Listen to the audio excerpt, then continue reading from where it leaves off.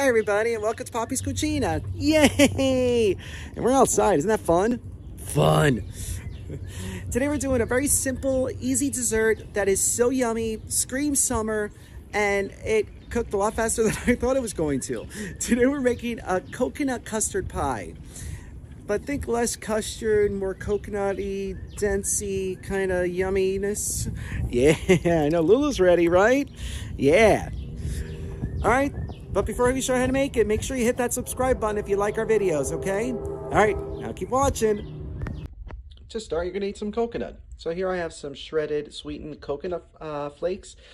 Um, you can use unsweetened, you can use uh, fresh coconut, whatever you want. I was being lazy, so I bought the sweetened, you know, shredded already. But you're gonna wanna toast it. So we're gonna put this in a uh, preheated 375 degree oven for just about five minutes, just till the edges start to get nice and toasty. It'll really bring out the coconut flavor.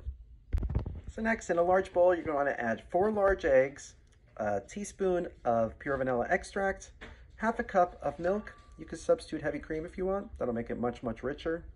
But we're just to do regular milk here. And then four teaspoons, uh, four tablespoons, I'm sorry, of melted salted butter. You can use unsalted, but then if you're to do that, you're to add half a teaspoon of salt. Now you're to whisk this together.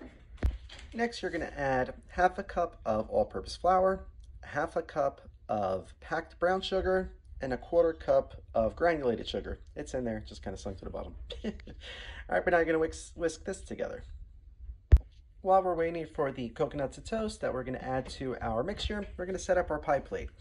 One uh, little trick I like to do is I like to spray this with a non-stick cooking spray before I put my pie crust down. You can make your own pie crust, that would be great, but uh, yeah, I bought a store-bought one. All right, so let's set that up. Our crust is ready to go. Our shredded coconut's ready to go. So into the batter it's to go. So our pie is officially ready for the oven. So you're going to place this in a preheated 375 degree oven for about 50 minutes to an hour. Um, in case the edges of your crust starts getting a little bit dark, if you have a pie shield, you put that over there on top or just put some foil around the edges. All right, so but into the oven it's going to go. So I just pulled it out of the oven. Totally misjudged the time. It took 35 minutes. I'm so glad I was keeping an eye on it. But woohoo, 35 minute pie. That's fantastic. um, and I also ended up putting the pie shield around it because the crust started getting a little dark. All right, so now we're gonna let this cool for a couple hours before we try it. Looks so good. Can't wait. All right, so I've allowed this to cool for a couple hours. That crust fell off, I'm sad. but let's see how this tastes. Look how thick that looks. You see that? Mmm. Mmm. All right very chewy. It's very dense. The addition of the flour makes it less eggy and more like a very thick custard, almost slash cake. But the addition of the brown sugar makes it taste like caramel, toasted coconut, the vanilla. Oh, so tasty. 35 minutes in the oven. Perfect summertime dessert or anytime.